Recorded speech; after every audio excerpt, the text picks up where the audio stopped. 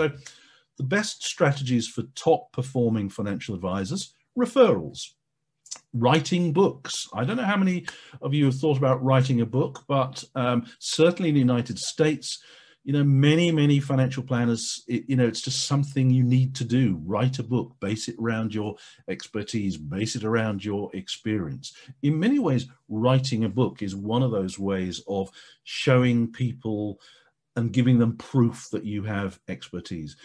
Um, many of the top performing advisors around the world put on seminars, they put on webinars, they use client events. Yes, they use web listings. They also work with introducers. They also do joint ventures with other people. They use LinkedIn. We are going to talk a little bit about LinkedIn today.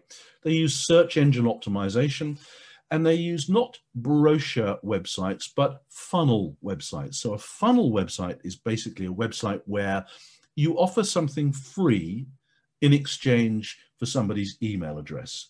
So they visit their web, they visit your website. They can see that you're offering maybe a free download, a tip sheet, um, and all they've got to do is give you give you their name and their email address. So you've got a name and an email address which you could follow up, and they've got some value. So funnel websites with lead magnets are very very powerful. And it's something worth thinking about.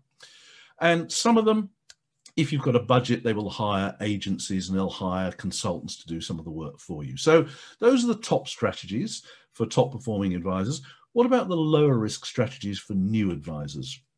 Well, the list is fairly similar, but it's definitely different. So referrals are still at the top of the list. Now, let me just talk about referrals for a moment, because I think referrals are really, really important. But most financial advisors around the world kind of um, if you've done a great job for a client and they're really, really pleased with the help, you would hope and expect that they will refer you to a friend or to a colleague.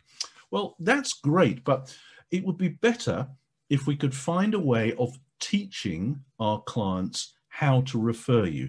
And again, if you can get hold of a copy of this particular book, this book here, Get More Referrals Now, by Bill Cates, C A T E S. Get More Referrals Now. This is the best book in the world on how financial advisors can get more referrals.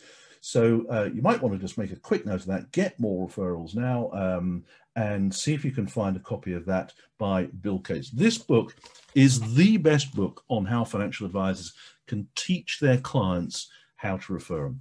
Other things we can see on the list there, introducers and joint ventures, local advertising, web listings, yes, seminars. Obviously, we can't do seminars right now, but we can do webinars, a bit like what we're doing right now. I mean, here I am in the UK and I'm speaking to over 200 financial advisors in India. Um, so I haven't had to get on a plane. I would have liked to have got on the plane to come and meet you in person, but this is the proof. What we're doing right now is the proof as to how easy and how effective this can be. Networking, LinkedIn, content, and by content I mean blogs, articles, maybe videos, um, YouTube, and maybe podcasts. I don't know how popular podcasts are amongst financial planners in India. But um, if you were thinking of one new strategy that is really, really powerful and that will help you to stand out from the crowd, is to start thinking about your own um, podcast. And finally, old school, non-digital. Some of the things that I was sharing you earlier there, like you know, local right now, and press the bell icon. Never miss an update.